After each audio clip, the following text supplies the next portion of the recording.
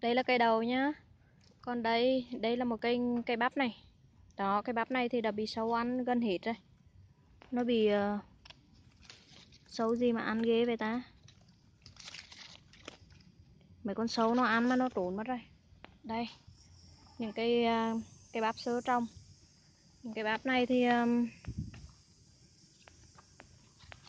nó nó yếu nó lên yếu quá nên nó chắc không có trái đâu còn những cái ngọn đầu này á. Cái đầu này là mình phải ngắt đi. Đó. Cái ngọn này là không nên để lại. Đây. Nên ngắt những cái ngọn đầu này đi.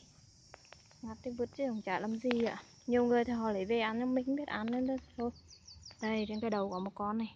Đây là con kiến này. Đó. Đó, con kiến đó, thấy chưa? Đó.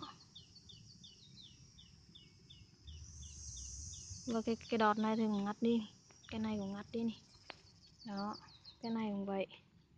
Cái này không cần thiết nhé. Những cái ngón này nó không cần.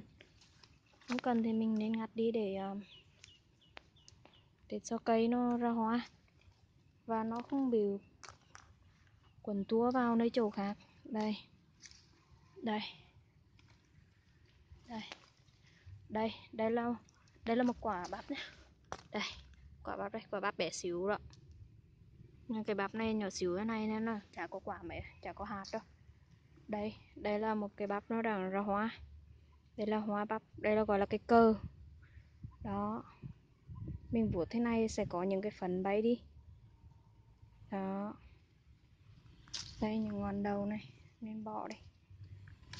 Đó ôi những cái con này là nó. Ơ ừ, đau quá. Nó ăn nó đột những cái đầu này đột là hỏng cái đầu này rồi. Những con ruồi này cũng vậy không nên nuôi. Đây nữa đây là những quả đầu rất dễ thương. Đó. Đó những cây bắp đây.